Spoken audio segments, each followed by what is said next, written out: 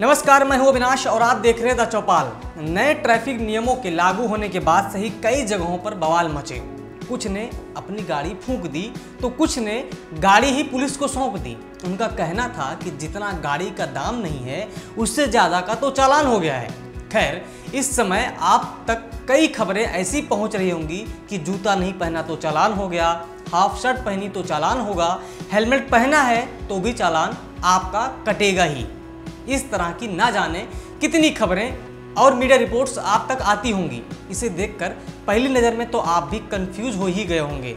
लेकिन अब परिवहन मंत्री नितिन गडकरी ने ऐसी मीडिया संस्थानों और रिपोर्ट्स के खिलाफ नाराज़गी दिखाई और दुख जताया है कि कैसे देश में मीडियाकर्मी किस तरह से लोगों को नए मोटर व्हीकल एक्ट को लेकर गुमराह कर रहे हैं। दरअसल सोशल मीडिया पर ट्वीट करते हुए परिवहन मंत्री नितिन गडकरी ने कहा कि मुझे खेद है, आज फिर हमारे मीडिया के कुछ मित्रों ने सड़क सुरक्षा कानून जैसे गंभीर विषय का मज़ाक बनाया है। मेरा सबसे आह्वान है, लोगों की ज़िंदगी से जुड़ी इस गंभीर मसले पर इस प्रकार गलत जानकारी फैलाकर लोगों में भ्रम ना पैदा करें। अब उन्होंने ऐसा क्यों कहा, इसके पीछे भी कारण है। दरअसल, इसी ट्वीट के साथ नितिन गडकरी ने एक तस्वीर भी साझा की।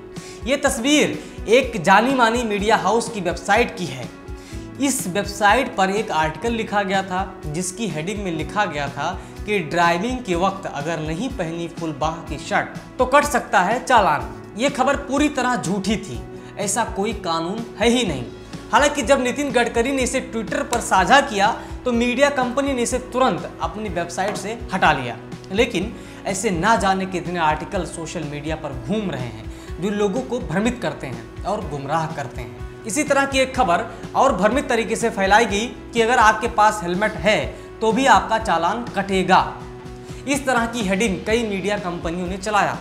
इससे लोग कंफ्यूज हो गए कि आखिरकार ये क्या हो रहा है? हमारे पास हेलमेट होने के बावजूद हमारा चालान क्यों कटेगा? हालाँकि इसके पीछे की असलियत कुछ और थी। दरअसल, इस बात को तो आप जानते ही होंगे कि लोग चालान से बचने के लिए किस किस तरह के हेलमेट का प्रयोग करते हैं। कोई इंजीनियर वाले हेलमेट लगा लेता है तो कोई 100-200 का हेलमेट खरीद कर अपने सर में रख लेता है, जिससे कि सर पर हेलमेट लगा रहे और पुलिस उनका चालान ना काटे। इस तरह के हेलमेट पहनने का क्या फ़ायदा?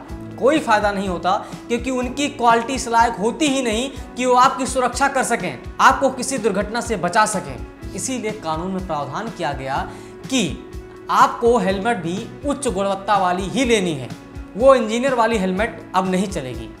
अगर आप अभी लोकल, यानी बिना आईएसआई मार्क वाला हेलमेट इस्तेमाल कर रहे हैं तो उसे तुरंत किसी कचरे में फेंक दीजिए, क्योंकि अब तक आप इस हेलमेट को सिर्फ़ चालान से बचने के लिए पहन रहे थे, लेकिन नए कानून के तहत बिना मार्क वाले हेलमेट पहनने पर उतना ही चालान लगेगा जितना कि बिना हेलमेट पहनने पर लगता था।